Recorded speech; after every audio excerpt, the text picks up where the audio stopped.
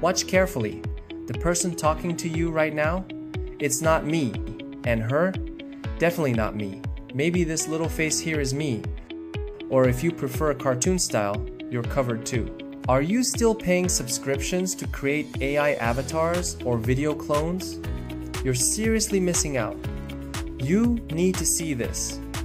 All of these clone avatars here, I created them absolutely free. So in this video, I'm going to show you how to create your own AI avatars completely free. Not free trials. I'm talking about unlimited free AI avatar video generation. If you are searching for a way to create AI avatars for YouTube or TikTok videos, this is something you must try. I am Brandon and welcome back to my channel. Now, the tool we are using today is called HeyGem. That's G-E-M, not G-E-N. Don't confuse it with HeyGen. HeyGem is an AI avatar tool similar to HeyGen, but with one huge difference. It's open source and has a 100% free version to use. It's built by Duix.com. They also have paid subscriptions, but today we're focusing on the open source version anyone can use for free. Let me show you how it's done. This is the GitHub repo for HeyGem. You'll find a quick intro here, a screenshot of the user interface, and installation instructions. Before we start, make sure you have Docker installed because we are going to use it to deploy our services. There are plenty of tutorials for installing Docker, so I won't go into detail here. Once you've downloaded the GitHub repo, go into the root directory and open your terminal here. Then you need to run this command. This will pull all the software images and start the service after downloading.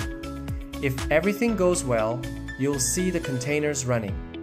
On Windows, you'll see this in Docker Desktop. On Mac or Linux, you can use this terminal command to check the status. Now that the service is running, we will next get a graphical interface. Just download the latest version of the HeyGem frontend and install it. Once it's installed, you'll see an app like this. There are two main sections, one for creating avatars and one for generating videos using your avatars.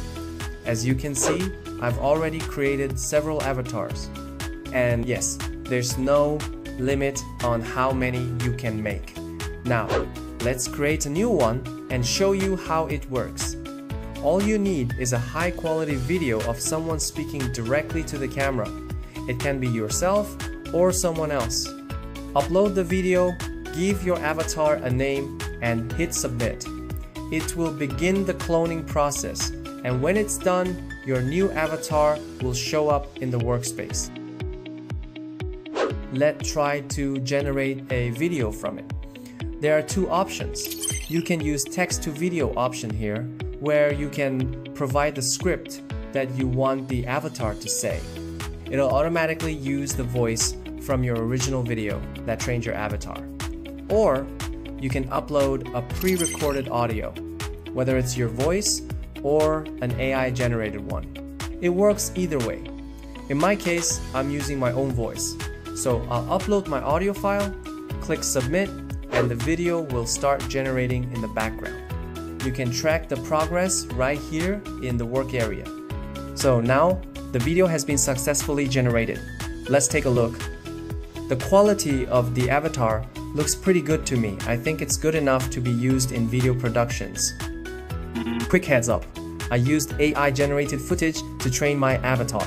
But if you're planning to use a real person other than yourself, make sure you have their permissions. And that's it. If this video helped you get your AI avatar up and running, smash that like button, share it with someone who might find it useful, and subscribe for more interesting content. If you got questions or cool use cases in mind, don't forget to drop them in the comments. Thanks for watching, and I'll see you in the next video.